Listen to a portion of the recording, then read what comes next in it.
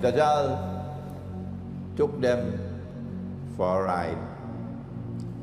It's the last ride on which they'll ever go.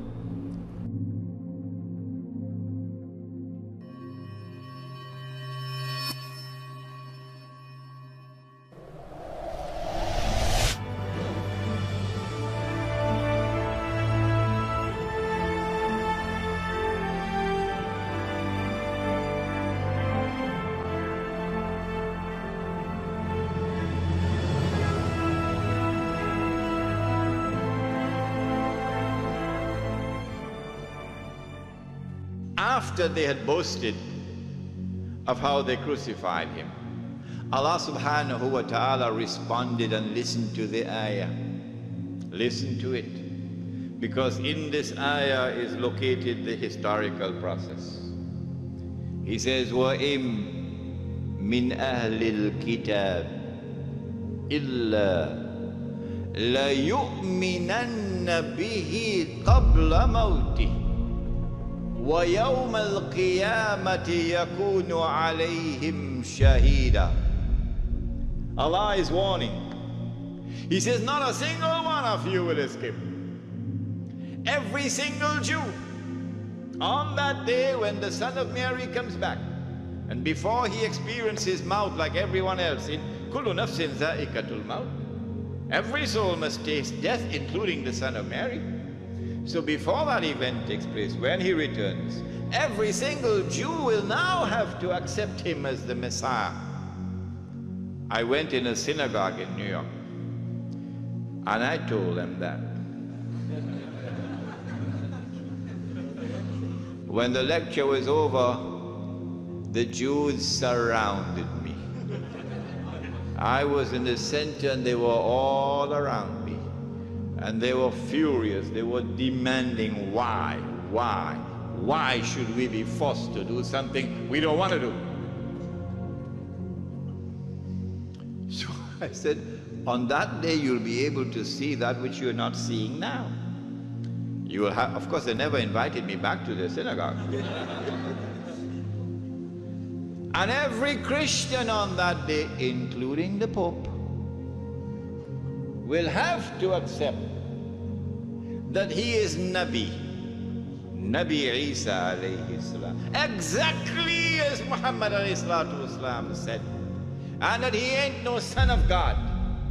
And there ain't no Trinity. And so that is the end of Christianity. The cross is broken and the swines are killed. But when they accept him now as Nabi and as Al-Masih, it will be of no benefit to them. Because this is the last moment now when the, the, the eyes are unveiled and you can now see. Because at that moment, when the Son of Mary comes back, and they can now see, now it's too late. Knowing that all that they had held on to as truth was falsehood, and all that they had opposed and demonized and rejected as falsehood was the truth. Prophet Muhammad, Allah's blessings be upon him, then informed that Allah had created a being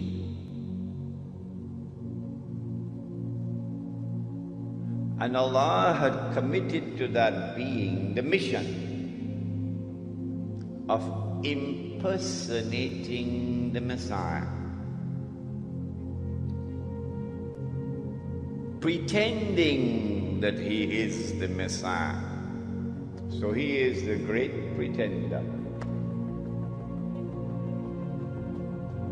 And that he is known as Dajjal. Al-Masih al-Dajjal, Dajjal the false Messiah or the Antichrist.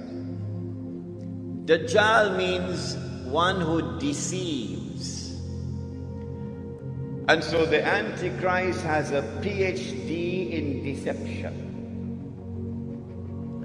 In everything connected with the Antichrist, appearance, and reality are opposite to each other.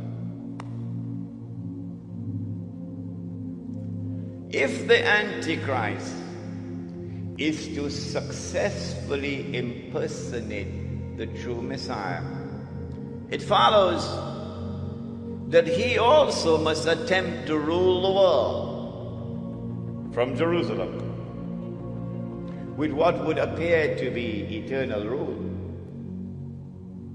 Only then can he declare, I am the Messiah. If he is to do that and convince the Jews that he is indeed the Messiah, then it follows logically. Number one, he would have to liberate the Holy Land for the Jews.